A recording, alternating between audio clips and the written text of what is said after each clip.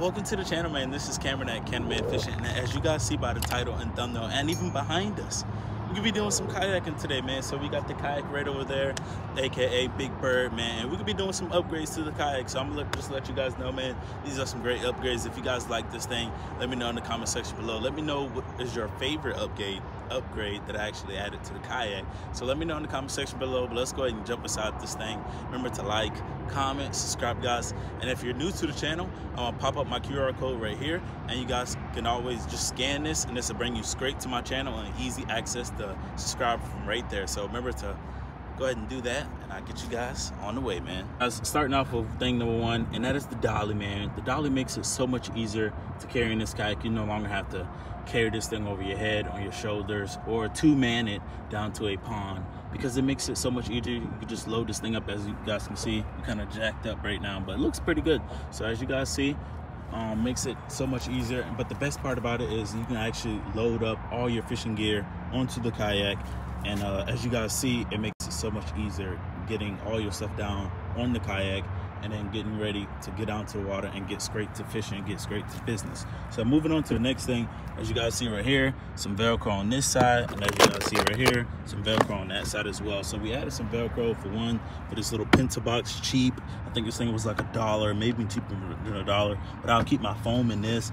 Something that's kind of behind this bungee, so that's a little bit more secure, shouldn't go anywhere. But I added some Velcro to this side because I actually have a pouch that I left at home that I will kind of keep my pliers in that will go something like this and then my pliers as well which i left at home too. And we got this kind of little uh, tethering cord right here to kind of secure this to this um, bungee right here whenever i'm putting my uh, pliers and um, and scissors into the pouch. So moving on to the very next thing we actually added um, a little bit more storage to the kayak and that is this little nice milk cart right here. And this thing is very great for making some more extra storage into the kayak. But not only that you can carry a little bit more. So i got some tackle right there. I usually will carry some um, tackle in, inside or i will carry some tackle inside the um, milk crate but i got some extra stuff in there. As you guys can see we got some tackle and we got this little bag right here where i usually carry my chest mount my gopro stuff and probably some snacks and stuff like that a little bit more along the way and then uh, that just makes it so much easier. I feel like a kayak,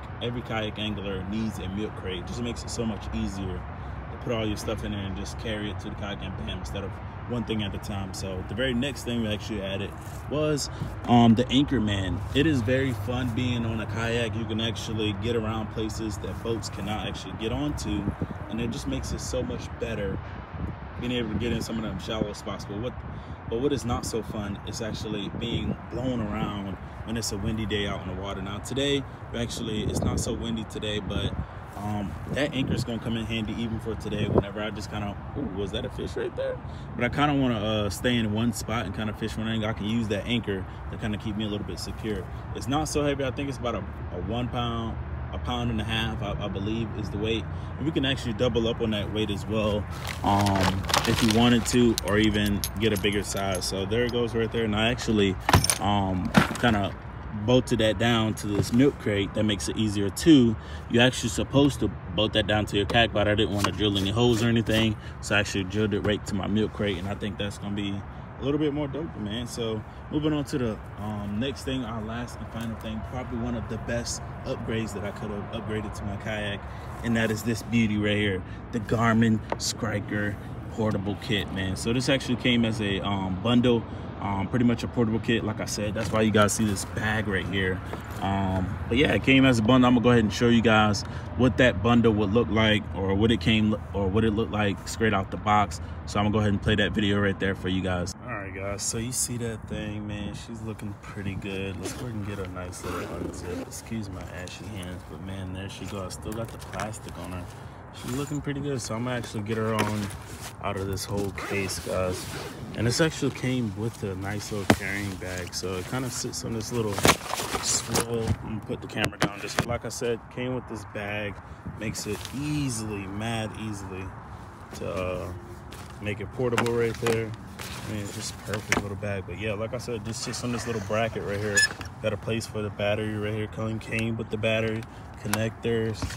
Um, the only downside to this is, uh, I guess, to, to to it, I guess, to extent, because I guess the way I'm I'm trying to fish it is the fact that it came with a short power cord, which makes sense for this setup. You don't really need a longer power cord, so I do have another power cord on the way, a little bit longer one, because I'm gonna set it on that um that mount and actually put the uh, transducer on that mount as well. I'm not really gonna rock this. Uh, I will actually have this in the kayak, which will only be for the battery. It won't even be for the fish finder or the transducer. So, like I said, it came with this little suction mount, little uh, for the mount for the transducer. You just smack this on the side of your kayak. The only thing is, I don't think it's trustable. I don't think you could depend on that. So, I was gonna go two ways with that. Like I said, I was gonna go with the um through the scupper hole mount, but then I actually ended up buying that um, transducer and fish finder mount. You guys see, um, we actually made this thing to be um, fit for the kayak. We got this little um, mount right here. This is the Garmin Scribe, or this is the Scotty mount. What is this? I forgot what number this is, but it's a Scotty mount. You had to actually get a gear head. And then this little um, mount right here, this was separate. You had to buy this separate. And this is the Scotty mount 368. I know that for heart because I had to find that thing. It was like I had to actually order that online because they didn't have it in store, but it's all cool. And we got our um, transducer right here. I was actually gonna go a different route and I was actually gonna put my Scotty mount right below in that uh, scupper hole right there. And I was gonna use some PVC into that and uh, make that secure. And I thought that would have been a little bit dope, but we ended up needing a um, this Scotty mount 368, so that's why I did not do that. And I just went ahead and um, put my um, transducer right onto the mount since it came with it because we could not mount the um, actual um, fish finder head onto the um, Scotty mount right here if we didn't need or because we needed this 368 so that was pretty cool. We got the fish finder. Now we can uh, add a little bit more help onto the boat when finding these fish and we no longer can just kind of go around and some of these higher percentage spots now we can kind of go around the ponds or even lakes. And guys i'm definitely going to be fishing more lakes this um come spring summer. I'm going to be getting into the lakes now that i have a fish finder so it'll make it a whole lot easier for me to find some of these fish. But now that we talked about um, my upgrades to my kayak i want to get a little bit more into what um, what kind of upgrades do i want to um, do to my kayak in the future. So i'm gonna put my camera onto my uh, tripod and i'll get back with you guys right here Alrighty guys, so now that I got you guys on the tripod, let's talk about a little bit my upgrades that I want to do in the future to the kayak. So number one, I am definitely wanting to add another GoPro to the kayak. For one, um, the GoPro, another extra GoPro is going to be so much useful. I already know so many ways, but my number one reason for adding it to the kayak is actually going to be to capture a little bit different um, footage or not necessarily footage, but a different view. So most people like to put can the extra camera in the back of their kayak, and they kind of get that wide back view of what you guys see already from the camera mount. But I actually want to get that front to face to face, one v one kind of conversation whenever I catch a fish, or I'm telling you guys how I caught that fish, or even how I'm gonna go and start about my day. So that's gonna be my idea of um, adding a extra um, GoPro to the kayak. But not only that, I want to add an extra GoPro to myself as well. So whenever I have an extra person that fishes with me, like Charlton, like Carlos, like um, like my boy Jared. So whenever they go fishing with me, I can actually um, give them a GoPro and they can actually capture some footage um, for themselves as well for me to put into the video. I know it's gonna be a little bit hard for them because they never really used a GoPro like that, but I kind of walk them through that and uh, we can make the adjustments with that. So there goes um, one of my upgrades that I do want to do in the future that will be coming soon.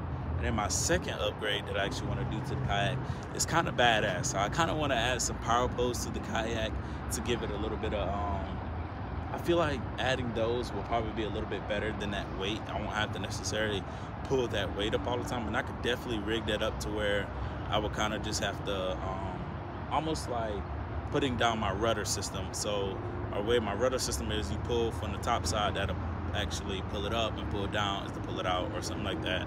But anyways, I could rig the um, weight system just like that, but I think the power poles would be pretty cool. So I can go about that two different ways. I can actually do a DIY kind of power poles or I can get some power posts that's already made and kind of custom rig them to my kayak. So let me let me know in the comment section below what you guys think about that and how I should go about that way if you guys know anything about power poles and kayaks or even power poles and just in general. So let me let me know in the comment section below. My last and final thing I want to do to the kayak is guys is raise my kayak seat. As you guys know, the spawn, the bedding fishing is coming soon. So I want to get out on the water and fish these uh, or fish some of the spawn and bedding time on the kayak. It, it's easier on the bank. Don't don't get me wrong, but being on the uh, being on a boat, it probably would, I feel like it would be a little bit easier. Being especially with the kayak, you can kind of get away from that fish, and if my seat is a little bit higher, I can see those beds a little bit easier and cast onto them and kind of pick those fish one off at a time. So I think um, rising my seat will probably benefit me a whole lot, a whole lot better when it comes to bedding and um, spawn time. Not only that, but just being out on the water, you're just out there, your feet's level, your body's level, it's not too low. But the seat isn't wrong with that. It's comfortable. Don't get me wrong. I love my seat on that kayak. So that's just a little suggestion. But anyways, my um also I already know what I need to actually upgrade that or make get that seat to rise up a little bit. I actually would need like six um six one inch T PVC pipes and then also I will need a one inch PVC pipe that I will actually cut to my desired height and it should look a little something like this right here. Um, and that's how it should be. So there goes there goes some of my upgrades to my kayak I want to do in the future. I hope you guys enjoyed me um, showing you guys some of my kayak upgrades to my kayak. So with that being said I'm gonna go ahead and get the fishing. Already got a little bit of time get on some of these fish. I hope you guys like this. Remember to like comment subscribe and uh, catch me on the next video because I'm gonna be catching the fish boys. Let's go